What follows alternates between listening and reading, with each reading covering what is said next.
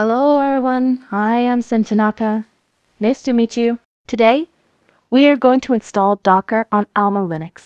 Upon researching, I found that the installation process is the same as for CentOS and later.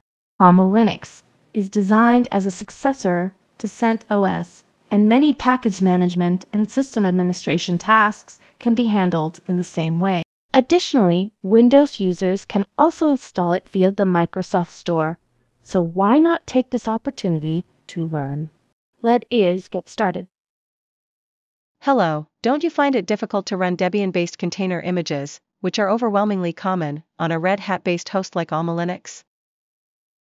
Hello, Tsumugi. Container technology, especially Docker, is designed to operate independently of the host OS. So even if the host is Alma Linux, running Debian-based containers itself is not a problem. However, I have experienced some difficulties, so I would like to touch on that briefly. In particular, due to the differences between Debian-based and Red Hat-based systems, I had to adjust the existing users to match the container. Based on my experience, WordPress containers fall under this category. However, when the container runs as root, there are generally no significant issues, even if the host OS is Alma Linux. I have also launched Drupal containers on Alma Linux before, and since they were root-based, I did not encounter any major problems. I've learned a lot from this. I was hesitant because the commands are different, but I think I'll give it a try. That sounds great. Let us go ahead and install Docker. There may already be some packages installed, but all you need to do is copy and paste the instructions from the official website. For those who want to understand the meaning of the commands, there is a link in the video description, so please refer to it if you are interested. In the video, I demonstrate installation via the repository, and unless you have a specific reason, this is the recommended approach. I understand why. If you use packages, you'll have to handle updates manually, right? Yes, you have to manually manage versions and check dependencies, which can be a bit complicated for beginners.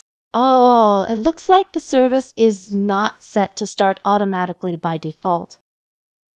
Oh, when I installed Docker on Ubuntu, the service started automatically, and I think Docker also started automatically after system reboots.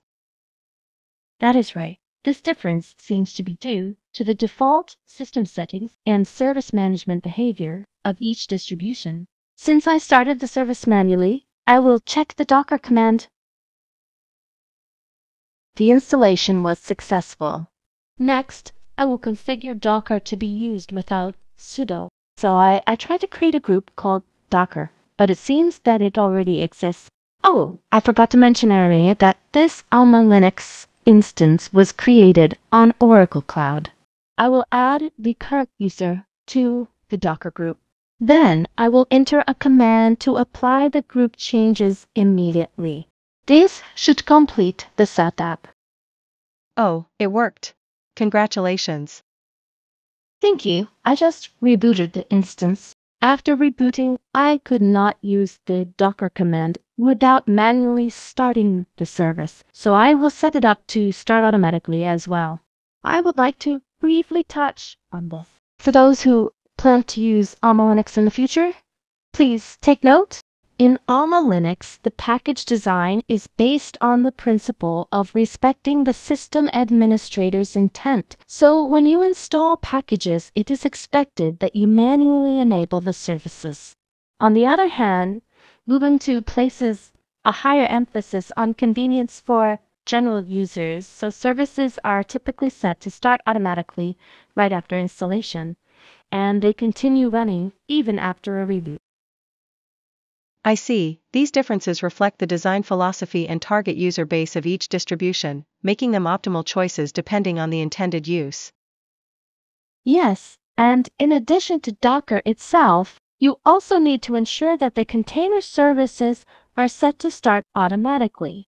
Distributions like Alma Linux, which are Red Hat based, are designed to give detailed control over system and service management, making them an excellent choice if you want to dive deep into learning. Well then, everyone, see you next time. Goodbye.